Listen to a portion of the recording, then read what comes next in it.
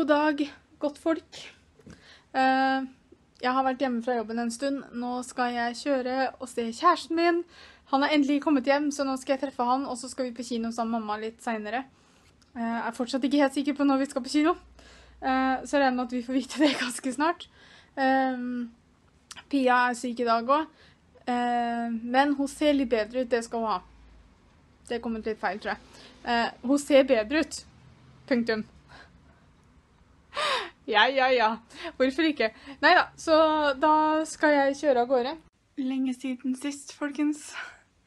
Um, feberen min har begynt å bevege seg nedover. Uh, vær snill, ignorer leppa mi, for jeg har sånn jeg, Når jeg får feber og sånne ting, så har jeg det med å få noen sånn veldig sår på leppene.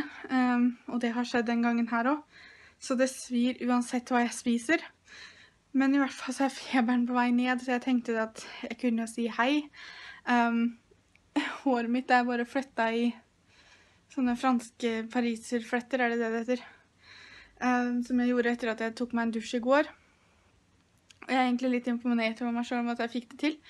Um, så kanskje øvelse gjør mester, men jeg bare liksom De ser faktisk ikke så verst ut.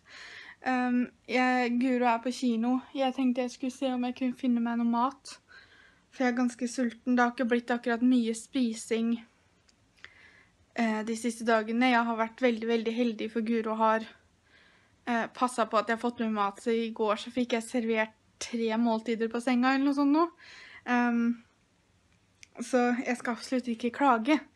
Men siden Guro er på kino, så bør jeg nesten ordne opp i det sjøl, da. Ja ja, får vel bare gjøre det, da. Jeg tok ut flettene mine, og da hadde jeg veldig krøllete hår, for jeg fletta jo håret mens det var helt vått i går. Um, for det første så er det veldig uvant å se meg med midtskill. det er jeg absolutt ikke vant til, men når krøllene blir sånn som det her, så syns jeg faktisk de er litt fine, jeg, da. De er litt mer kontrollert enn det jeg egentlig har. For jeg og Guro har jo krøllete hår, men problemet vårt er at krøllene våre makes no sense. Eh, det, det er sånn, De er så rotete. Det er liksom ikke fine krøller. Men hvis jeg hadde hatt krøller sånn som det her, ja, så hadde det ikke vært noe problem. Jeg har litt mer sånn korketrekker nå, egentlig. Ok. Ja, det er ikke jeg. Jeg har mer sånn derre at det blir sånn dritsvært, og det syns jeg ikke er noe fint. Men jeg likte åssen det var med flettene, da. Så det går jo an å gjøre det, at man sover med fletter, og så jeg vet ikke helt hva jeg syns om midtskillen, men uh, jeg liker Jeg kan godt ha midtskill hvis jeg bruker krølltanga og krøller håret. Da har jeg hatt midtskill. Men uh, ja, ja. Da hadde jeg litt krøller, da, i hvert fall. Da har jeg sett Legends of, Legend of Tarzan. Jeg tror det er det den heter. Filmen var bra, det må jeg jo si. Uh, fryktelig kjekk, han duden som spille Tarzan. Alexander Skarsgård, eller hva han heter for noe. Um, hva var det mamma sa for noe? At han var fin i skrotten, eller noe sånt? Jeg vet ikke. Men uh, ja da. Uh, han spilte veldig bra. Uh, altså Jeg syns at filmen hadde et litt tregt tempo, hvis dere skjønner hva jeg mener. Jeg syns liksom det tok litt tid da før ting satte i gang, og det var liksom sånn Og så var det jo, fikk man jo se litt sånn flashbacks og sånn.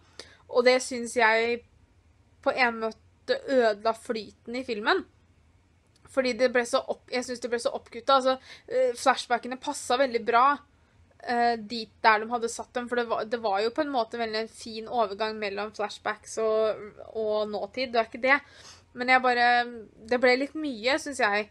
Og da, av alle disse flashbackene og av det var så mye annet som skulle inn, så syns jeg liksom at historien kom litt sånn seint i gang.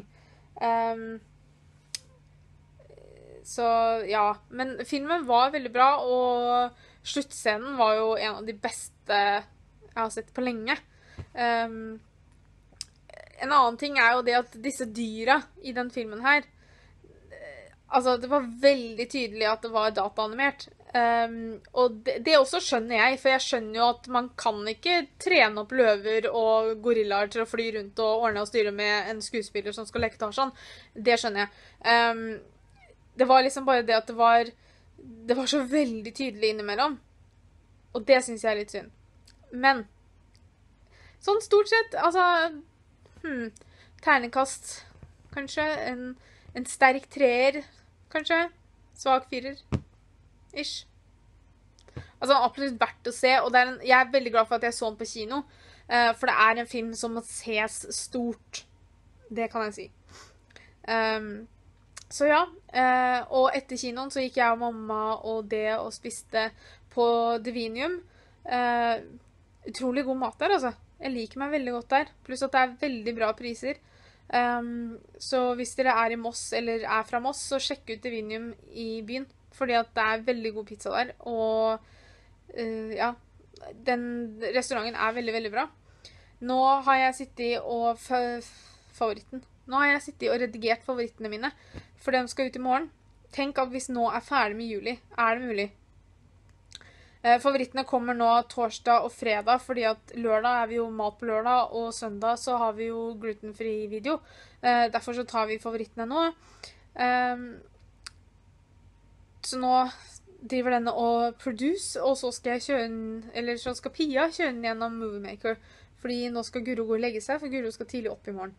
Um, up in the morning, som man sier. Uh, så tusen takk for at dere så på. Uh, håper dere har hatt en kjempefin dag. Gilmore Girls har premiere 25. november. Uh, på Netflix. Sånn, ja. Hva var det? Det var sprayen min. Det var sprayen min. Men i hvert fall, tusen takk for at dere så på.